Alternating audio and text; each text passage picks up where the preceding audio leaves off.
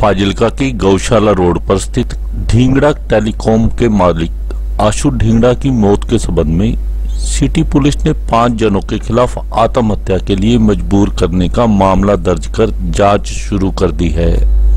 आशु ढींगड़ा ने सोमवार रात को जहर खा लिया था और फरीदकोट मेडिकल कॉलेज में उसकी मौत हो गई थी। राधा स्वामी कॉलोनी निवासी कल्पना, उसकी माँ सरोज, भाई साहिल, मामा अशोक और राजू डेयरी वाले पर आशु ने तंग परेशान करने के आरोप लगाए थे। आशु पर 2011 में इन्हीं लोगों ने आईपीसी की धारा 376 के तहत मुकदमा दर्ज करवाया था।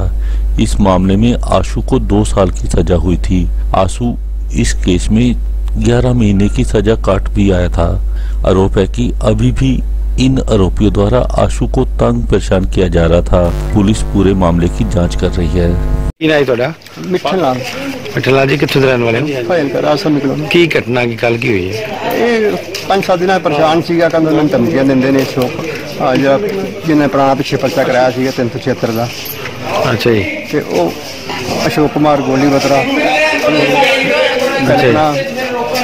ਤੇ ਸਰੋਜ ਰਾਣੀ ਨੇ ਇਹ ਸਾਰੇ ਨਾਲ ਮਿਲ ਕੇ ਰਾਜ ਡੇਰੀ ਵਾਲਾ ਇਹ ਧਮਕੀਆਂ ਦਿੰਦੇ ਸੀ ਨੰਬਰ ਤਾਂ ਜੀ ਕੋਈ ਨੰਬਰ ਉਹ ਪਰੇਸ਼ਾਨ ਸੀਗਾ ਜਿੱਥੇ ਬਾਜ਼ਾਰ ਮਿਲਦੇ ਸੀਗੇ ਰੈਫਰ ਨੰਬਰ ਉੱਥੇ ਰੋਕ ਲੈਂਦੇ ਸੀਗੇ।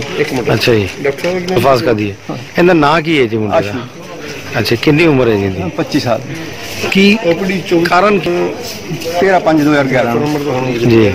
ਉਸ ਦੇ ਕੇਸ ਨੂੰ 2 ਸਾਲ ਸਜ਼ਾ ਹੋਈ ਸੀ 11 ਮਹੀਨੇ ਅੰਦਰ ਕੱਟ ਕੇ ਆਇਆ। ਹੈ ਅੰਦਰ ਕੱਟਣ ਦੇ ਬਾਅਦ ਇਹ ਕਹਿੰਦੇ ਤੈਨੂੰ ਬੇਸੀ ਜਾਨੋਂ ਮਾਰ ਦੇ ਇਹ ਮੈਂ ਤਾਂ ਬੈਠ ਕੇ ਹੀ ਬੈਠਾ ਸੀਗਾ ਇਹ ਅੰਦਰ ਅਗਰਬੱਤੀ ਲਾ ਕੇ ਬੈਠਾ ਸੀਗਾ ਤੇ ਸਮੈਲ ਆਉਣ ਲੱਗੀ ਇਹਦੀ ਮੰਮੀ ਨੂੰ ਉਹ ਮੈਨੂੰ ਕਹਿੰਦੀ ਸਮੈਲ ਆਉਂਦੀ ਹੈ ਇਹਨੂੰ ਉਲਟੀਆਂ ਆਣੀ ਸ਼ੁਰੂ ਹੋ ਗਈਆਂ ਹੂੰ ਉਲਟੀਆਂ ਨਾ ਕਲੀਅਰ ਹੋ ਗਈਆਂ ਪੁਲਿਸ ਕਾਰਵਾਈ ਕਰ ਰਹੀ ਹੈ ਪੁਲਿਸ ਨੇ ਬਿਆਨ ਲੈ ਲਿਆ ਹੈ, ਕਾਰਵਾਈ ਕਰੇਗੀ ਪੂਰਾ ਵਿਸ਼ਵਾਸ ਦਿਲਾਇਆ ਪੁਲਿਸ ਨੇ ਇਸ ਤਰ੍ਹਾਂ ਸਾਨੂੰ ਨਾਈਟ ਅੱਜ ਇਨਫੋਰਮੇਸ਼ਨ ਮਿਲੀ ਸੀ ਕਿ ਵੀ ਇਸ ਤਰ੍ਹਾਂ ਇਸ ਤਰ੍ਹਾਂ ਇੱਕ ਲੜਕੇ ਨੂੰ ਕੋਈ ਪੋਇਜ਼ਨਿੰਗ ਕੇਸ ਹੋਇਆ ਜੀ ਤੇ ਮੈਂ ਫਿਰ ਇੱਕ ਮੌਕੇ ਤੇ ਆਇਆ ਜੀ ਸਾਡੇ ਸਾਰੇ ਅਫੀਸ਼ੀਅਲਸ ਜਿਹੜੇ ਹੈਗੇ ਸੀ ਅੱਜ ਅਸੀਂ ਆਏ ਹਾਂ ਉਹਦੀ ਸਟੇਟਮੈਂਟ ਰਿਕਾਰਡ ਕੀਤੀ ਹੈ ਉਹਦੀ ਰਿਕਾਰਡ ਕਰਕੇ ਤੇ ਅਸੀਂ ਨੈਕਸਟ ਜੋ ਫਰਦਰ ਕਾਰਵਾਈ ਕਰ ਰਹੇ ਹਾਂ ਸਟੇਟਮੈਂਟ ਜੋ ਦਿੱਤੀ ਹੈ ਅਸੀਂ ਉਹਨੂੰ ਤਸਦੀਕ ਕਰ ਰਹੇ ਹਾਂ ਜੋ ਵੀ ਫਰਦਰ ਕਾਰਵਾਈ ਅਸੀਂ ਕੀਤੀ ਜਾਊਗੀ दोस्तों वीडियो को लाइक और शेयर कर दें आंसू ढींगड़ा के मामले में दो शब्द कमेंट बॉक्स में जरूर छोड़ दें हमारे चैनल को सब्सक्राइब करके बेल आइकॉन को दबा दें ताकि हमारे हर एक नई वीडियो की जानकारी सबसे पहले आपको मिल सके धन्यवाद